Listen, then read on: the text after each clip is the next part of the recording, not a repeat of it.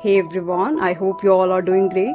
You must be noticing data revolution is happening in every sector and we know it has great impact in our biological and biomedical sector as well as we all have to deal with large set of biological data.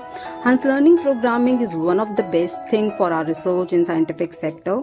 Python is used in biology for data transformation, data cleaning, data analysis, and here our data will be biological data and also for programming bioinformatics tools.